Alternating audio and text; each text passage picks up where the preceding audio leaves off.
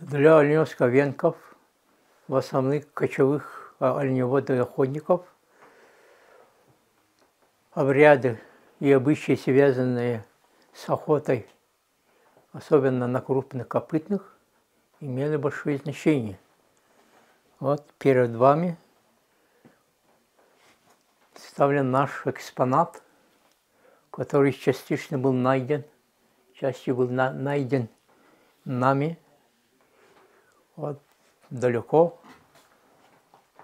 чаще леса. Наш предок сделал своими руками вот такой идол. Вот такое человекоподобное угу. лицо идол из сильных ствола дерева. Вот нижний час был расщеплен и как будто создает своеобразную арку. И здесь вот тоже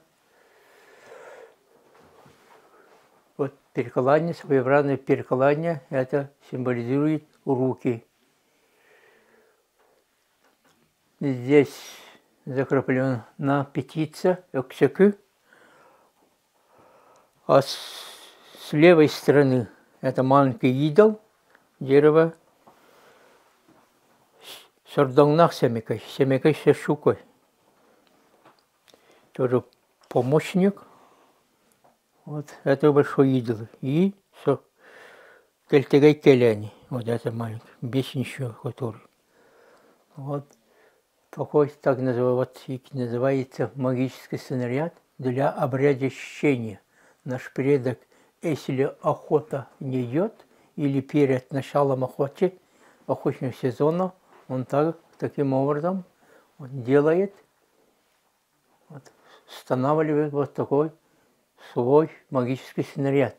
И взяв орудие охоты, заходит за этот чечепкан, который называется чечепкан, идол, и на полкорточка должен а, выйти через этот проход, через эту лазейку. И выйдя, сразу закрывает свой выход с этим маленьким идолом,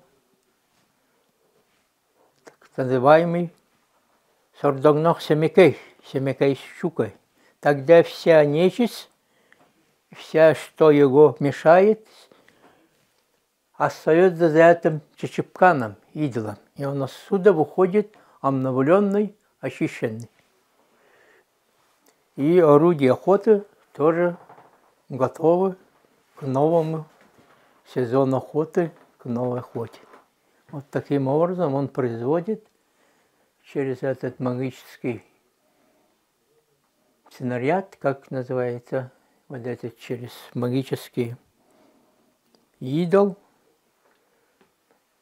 своеобразный обряд ощущения. Выйдя, выйдя из, из этого чечепкана, он разводит костер и проводит обряд кормления огня – и гадание на лопаточной кости. Вот это называется долур. Здесь, взяв из костра красный уголь, ложит здесь и потом сбрасывает, и потом льет водой. Тогда получается, а, трескается. И это так называемая, здесь вырисовывается дорога Баяная или Семекей Сола, угу. Цинкен Солодь называется. Дорога Цинкена, Баяная. Угу. Это как будто показывает, в какую сторону надо идти. И шаман или сам старый опытный охотник смотрит и и по, по этим трещинам он, он говорит, будет ли удачная охота или неудачная охота Вот это называется гадание лопаточек кости для получения охотничьей удачи.